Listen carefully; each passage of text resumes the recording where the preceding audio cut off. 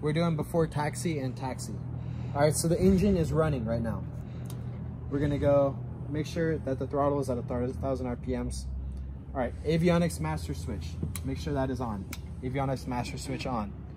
Transponder on. We're gonna set our code, the four digit squawk code that we get. Then we're gonna hit standby. Gonna come up to our GPS nav equipment, push the C to turn that on. When this comes up, we're gonna get the ATIS. Uh, we're gonna listen for the ATIS. That's gonna give us an altimeter setting. We're gonna make sure to set that right here. Coming through, all right, avionics and nav equipment. So if there's a radial that we have to input, we're gonna come in, we're gonna make sure to go to three clicks over, select Pueblo VOR, we're gonna hit direct, enter, enter, then we're gonna hit OBS and come to our course deflection indicator and set the appropriate radial for that, hit enter.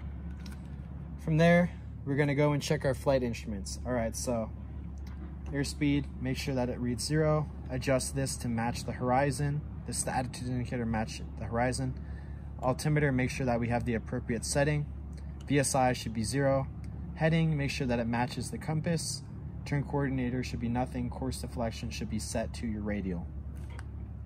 At the end of the flight instruments check, we have to make a call out. That is airspeed, altimeter, VSI check. From there, we're going to release the parking brakes.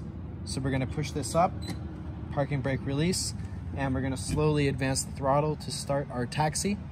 Uh, when we've moved two to three feet, we're gonna depress the brakes on the on the aircraft, so brake. And this is our next call out. We're gonna say, brakes check. How about you? He's gonna, then your instructor is gonna check the brakes. He's gonna tap him, brakes check. Then if we have a wind, we're gonna position the flight controls if there's a, uh, if there's wind. So if the wind is coming towards me, my left shoulder, I'm gonna turn the ailerons into the wind.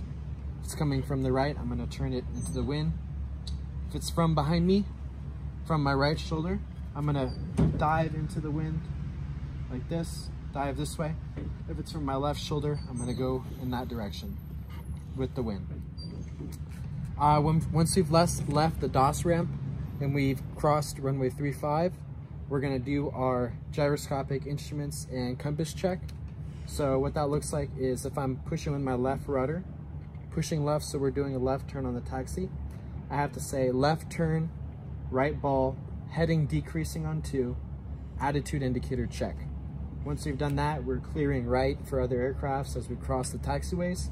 I go right rudder, so it sounds like this. Right turn, left ball, heading increasing on two, attitude indicator check. And we will taxi to our run up area.